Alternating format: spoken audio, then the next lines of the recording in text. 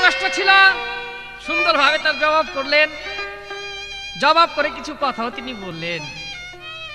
সেই কথা হলো, এক বাচ্চা নাকি, এক মহিলা নাকি আরেক মহিলারে কয় যে, আমার বাচ্চা তো মিষ্টি খায় না। তো সেই মহিলা আবার প্রশ্ন করে যে, মিষ্টি খায় না কেন? তো ওই মহিলা আবার কয়, খাইব তা, পাইব কুদারে মানে একটু কুয়ারা করে আমার লগে কুয়ারা করো তুমি। মিষ্টি তোমারে খাওয়াইতে পারি মিষ্টির ফ্যাক্টরি আমার কাছে আছে। কিন্তু পালাটা পড়ে গেছে আজকে হাইসর কিয়ামত। অর্থাৎ আল্লাহর হাদি, আল্লাহর কোরআন এবং রাসুলের হাদিস সম্পর্কে কথা বলতে হবে। যার জন্য আমি সেই বাজে কথা বলতে চাই না, নয়তো তুমি তো জানোই যে আমার যে মুখ। যাক, সেই দিকে যাব না আমি প্রথম আসরে। তোমাকে বলেছিলাম যে বাংলাদেশের একজন বড় গায়িকা আসলে দেখা গেল এই মিষ্টি খাওয়ার কথা বলে তুমি। বড় গায়িকা যে তোমাকে বলেছি, এইটার মানটা তুমি রাখলা না। আবার আমাকে বলেছে, তুমি বোকা। ধন্যবাদ জানাই তোমাকে। আমার কাছে প্রশ্ন করেছ, খুব সুন্দর হয়েছে প্রশ্ন। প্রতি বছর জিব্রাইল এসে রাসুল পাককে একবার করে কোরআন খতম পইরা শুনান, কিন্তু এক বছর দেখা গেল, রাসুল পাককে কোরআন দুইবার খতম কইরা শুনাইলেন। তখন রাসুল পাক প্রশ্ন করলেন জিব্রাইলকে হে জিব্রাইল ভাই, তুমি যে এই বছর আমাকে দুইবার কোরআন খতম কইরা শুনাইলা? তখন জিব্রাইল বললেন, হুজুর, এই বছর আপনাকে এই পৃথিবী ছেড়ে চলে যেতে হবে। যার জন্য আপনার সাথে আমার শেষ দেখা এই পৃথিবীর পরে এই দুনিয়াতে আর দেখা হবে না। তাই আপনাকে এইবার কোরআন খতম করে আমি দুইবার শুনাইলাম। তখন আমার আসুল পাক বললেন, জিব্রাইল ভাই, আমি পৃথিবী ছেড়ে চলে যাব। আমি চলে যাওয়ার পর তুমি কি এই পৃথিবীতে আর আসবে না? তখন জিব্রাইল বললেন, যে আমি এই পৃথিবীতে, আপনি চলে যাওয়ার পরে আরও দশ বার আসব এবং দশ বারে সেই পৃথিবী থেকে দশটা জিনিস আমি উঠিয়ে নিয়ে যাব। আমার কাছে প্রশ্ন করেছেন, সেই দশটা জিনিস যে জিব্রাইল উঠিয়ে নিয়ে যাবেন, সেই দশটা জিনিস কি? এবং রাসুল ইন্তেকাল করেছেন আজ থেকে চোদ্দশো মতান্তরে পনেরোশো বৎসর গত হয়ে গেছে। ইহার মধ্যে জিব্রাইল কয়টা জিনিস উঠিয়েছেন এবং কয়টা ওঠান নাই? না জিব্রাইল, এই পর্যন্ত একটা জিনিস ওঠান নাই, কারণ যদি জিব্রাইল একটা জিনিস উঠায় নিতেন তাহলে সেই জিনিসটা এই পৃথিবীতে থাকতো না। তবে জিব্রাইল উঠাবেন, আমার গানের মধ্যে তুমি এই কথাগুলো একটু লক্ষ্য করে দেখো, আমি কি বলেছি, এবং গানের মধ্যে তোমার প্রশ্নের উত্তর খুঁজে পাবে, জিব্রাইল কি কি জিনিস এই পৃথিবী থেকে উঠিয়ে নিয়ে যাবে।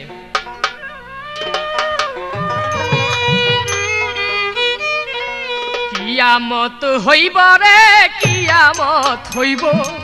সকল কিছু আল্লাহ যেদিন উঠাইয়া দিব রে সাদের দুনিয়া ছেড়ে যাইতে হইব রে। একদিন সাদের দুনিয়া ছেড়ে যাইতে হইব রে। কিয়ামত হইব রে, কিয়ামত হইব। কিয়ামত হইব রে, কিয়ামত হইব। সকল কিছু আল্লাহ যখন উঠাইয়া দিব রে সাদের দুনিয়া ছেড়ে যেতে হবে রে। একদিন সাদের দুনিয়া ছেড়ে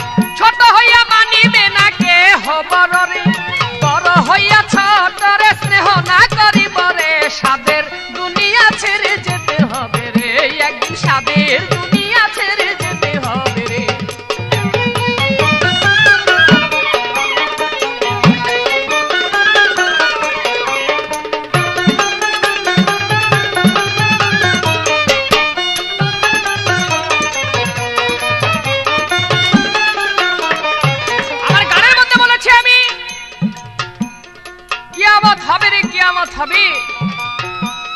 সকল কিছু আল্লাহ যখন উঠাইয়া নিবে রে, সাদের দুনিয়া ছেড়ে যেতে হবে রে। প্রথমে আল্লাহ পাক সব উঠাই নিয়ে যাবে, অর্থাৎ ওই যে জিব্রাইলের মারফত। রাসূল পাক যে বলেছিল, জিব্রাইল ভাই, তুমি কি পৃথিবীতে আসবে না? তাই জিব্রাইল বলেছে, আমি এই পৃথিবীতে আরও দশ বার আসব এবং দশ বারে দশটা জিনিস উঠাই নিয়ে যাব। সেই প্রথম উঠাই নিয়ে যাবেন জিব্রাইল এসে সবুজ। মানুষের লজ্জা মানুষের প্রতি মানুষের যে ভালোবাসা, এই জিনিস আর সেদিন থাকবে না যখন জিব্রাইল উঠাই নিয়ে যাবেন। কারও মনে থাকবে না ভয়, কেউ রোজা নামাজ করবে না, হালাল হারাম কেউ মানবে না। আমার এই গানের মধ্যে বলেছি, ন্যায় বিচার সেদিন থাকবে না। অন্যায় ভাবে মানুষ মানুষকে জুলুম করবে, অত্যাচার করবে, বড় হইয়া ছোট, ছোটকে স্নেহ করবে না, ছোট হইয়া বড়কে শ্রদ্ধা করবে না। এবার উঠাইয়া নিবই আল্লাহ কোরআনের বাণী। পশ্চিম হইতে সূর্যায় উঠবে হাদিসে যা শুনি। উঠাইয়া নিবই আল্লাহ কোরআনের বাণী। পশ্চিম হইতে সূর্যায় উঠবে হাদিসে যা শুনি। দেওয়ান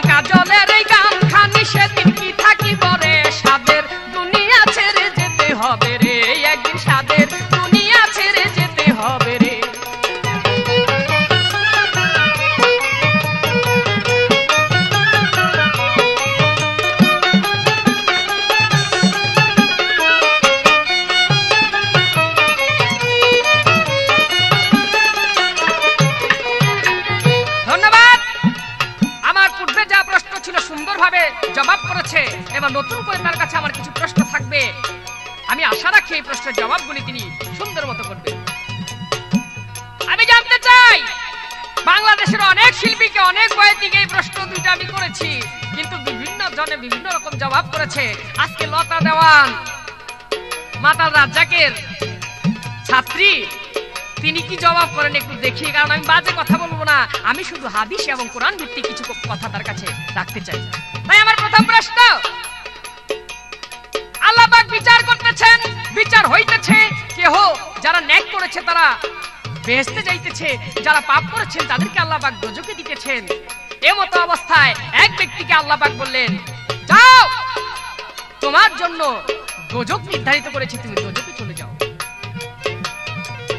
ওই ব্যক্তি দোজকে যাইবেন যাইতেছে।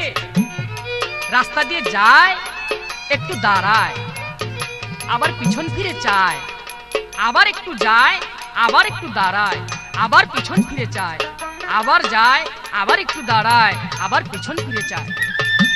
আল্লাহ তুই দাঁড়া।